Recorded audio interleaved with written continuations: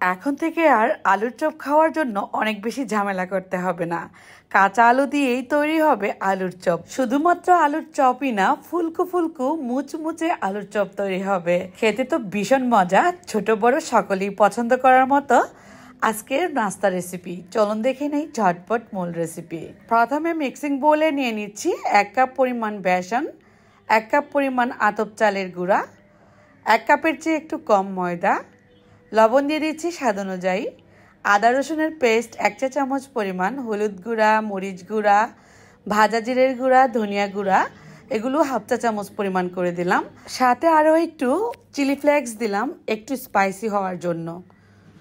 সবগুলো শুকনো উপকরণ খুব ভালোভাবে হাত দিয়ে মিশানোর পর, নর্মাল ঠান্ডা পানি অল্প অল্প করে দিয়ে আমি একটা ঘন ব্যাটার তৈরি করে নিব। হাত দিয়েই চেষ্টা করবেন এই ব্যাটারটা তৈরি করার জন্য। এতে করে কোনো প্রকার লামস থাকবে না।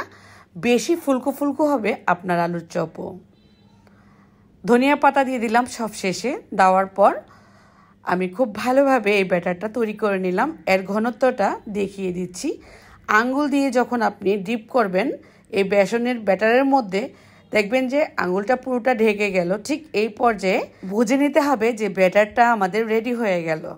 এবার ঢাকা দিয়ে ঢেকে একটা সাইডে রেখে আলুর চপ তৈরি করার জন্য আলুটাকে স্লাইস করে নিচ্ছি। বড় সাইজের একটা আলুই নিয়েছিলাম, তবে বড় সাইজের আলুর ভেতরটা কিন্তু মাঝে মাঝে দেখবেন যে একটু কেমন যেন খোলসা কালচে কালার হয়ে যায়। এতে করে কোনো রকম প্রবলেম নেই। যদি অল্প একটু হয়, তাহলে এভাবে করে কিন্তু নষ্ট জায়গাটা ফেলে দেওয়া যায়। বাকিটুকুন সবটুকু ভালো ছিল। আমি সবগুলো স্লাইস করে নিয়ে খুব ভালোভাবে ধুয়ে নিয়েছি। এবার যে ব্যাটারটা রেডি করে রেখেছিলাম, এই ব্যাটারের মধ্যে জাস্ট এই স্লাইসগুলোকে ডিপ করব আর গরম তেলে ছেড়ে দিব। পর্যাপ্ত পরিমাণে তেল আমি গরম করে নিয়েছি লো হিটে তারপর একে একে আলুর চপগুলো ছেড়ে দিচ্ছি। দেওয়ার সঙ্গে সঙ্গে কিন্তু ফুলকো হয়ে উপরের দিকে ফুলে উঠবে। যত কয়টা নেয় তত কটাই দিবেন, অত বেশি দেওয়ার দরকার নেই। জায়গা না হলে কিন্তু আবার ফুলবে না। কালারটা অনেক বেশি সুন্দর আসছে। আমি কিন্তু এখানে কোনো রকম কালার ব্যবহার করি নাই। বেসনের সাথে যখন হলুদ গুঁড়া, মরিচের গুঁড়া দেওয়া হয়, তখন কালারটা অনেক বেশি সুন্দর আসে।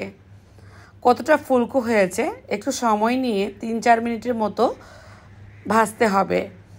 এতে করে কিন্তু ভেতরের আলুটা খুব সুন্দরভাবে সেদ্ধ হবে আর উপরের অংশটা ক্রিস্পি হবে। যে আলুর স্লাইসগুলো ছোট ছিল, সেগুলো কিন্তু ছোট ছোট হয়েছে, বড় স্লাইসগুলো বড় বড় ফুলকো ফুলকো হয়েছে, সবগুলোই ফুলেছে। আমি এবার একটা ভেঙে দেখাচ্ছি। উপরের অংশটা একদমই ক্রিস্পি হবে, আতপ চালের গুঁড়া দেওয়ার কারণে কিন্তু এমনটা হয়েছে। কেমন লাগল রেসিপি কমেন্টে লিখে জানাবেন।